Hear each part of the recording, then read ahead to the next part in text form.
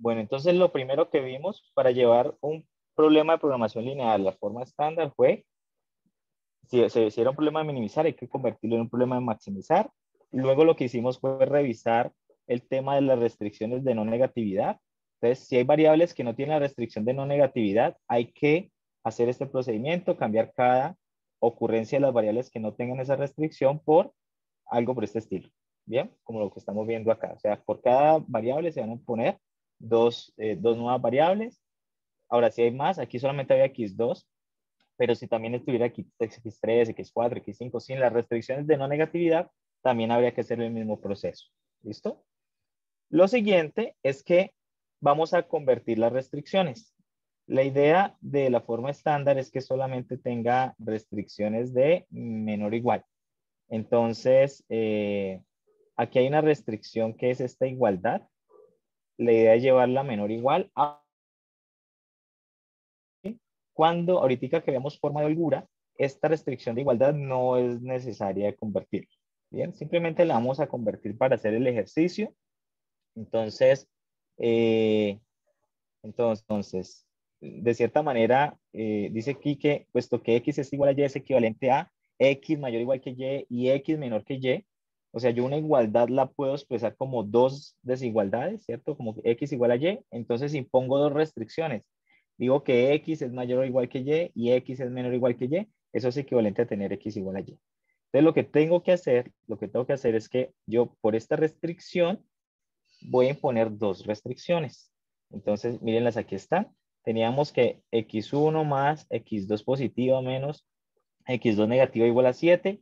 Para eso impongo las dos restricciones, una con menor igual y otra con mayor igual que 7. Insisto, esto lo vamos a hacer para tenerlo en una forma estándar, pero cuando lo vamos a llevar a la forma deseada, que es la forma de holgura, eh, donde necesitamos igualdades solamente, entonces no es necesario para esa igualdad procesarla.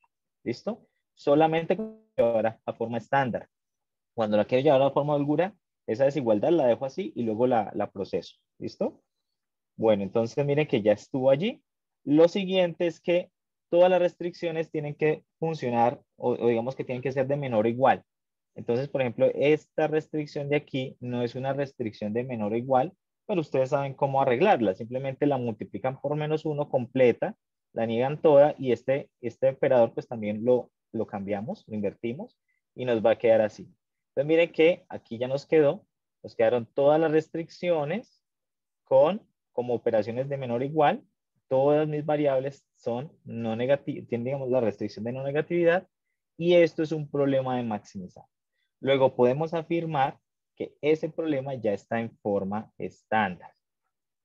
Bien, hay un paso adicional que es si uno quiere estas, estas variables, 3x2 más, 3x2 menos. Le damos un nombre, digamos que para quitarle esos simbolitos de ahí arriba.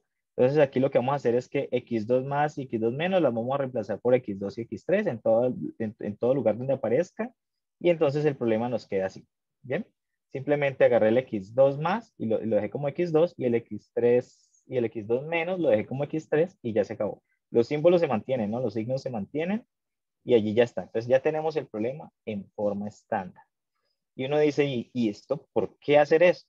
Entonces, resulta que cuando veamos el algoritmo simplex, él va a hacer una serie de pasos. Y en esa serie de pasos, él va a tratar de encontrar una mejor solución eh, o una solución con mayor valor objetivo.